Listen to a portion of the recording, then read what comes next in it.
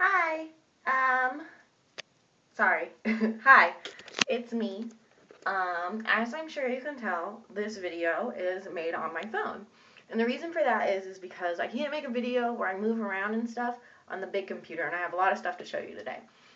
Um, in between classes, I went and got some stuff for the house. By the way, this is my hair. It's not finished yet, but the lighting's all crazy. It's still brown in the back.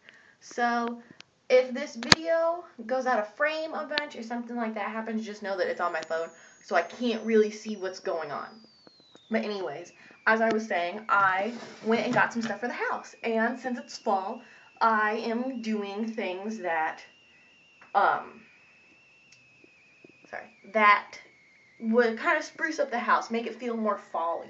And so I bought a couple things and I thought I would tell you and show you. Okay, so I, I don't know if you can tell. Yes, that's my makeup box on the ground. I'll turn the light on for you.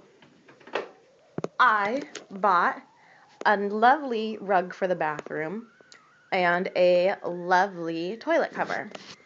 I know, super exciting. So I bought that and then there are these wonderful cinnamon scented pine cones that I got and they still smell super great. Then I got, let's walk to the kayak closet. I made this. You can't really tell what it is because the lighting sucks, but it's called a, wow, the lighting really is really shitty. I'll show you better. It's called a orange clove, I think is what it's called. And what that is, if you get an orange and you poke cloves into it, and it makes everything smell super awesome.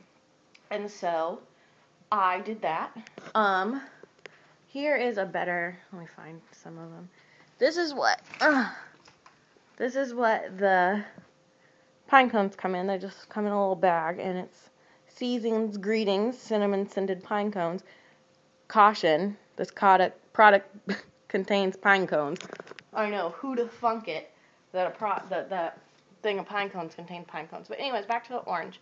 So what I have is I have an orange and these $15 whole cloves. And you just take them and you stick them into the orange. And it's supposed to make the house smell really good. And then I got a candle. Which I know you don't agree to candles, but as long as I don't leave the house with it lit and I keep it there, I think it should be fine. Um, I got something else. I think I got air freshener or something. But yes, my goal is is to make the house smell as wonderful as I possibly can, and to celebrate fall. Um, yes. Well, I love you. I got some studying to do, and I'm waiting for you to get back online. So I'll talk to you later. Kisses. Bye.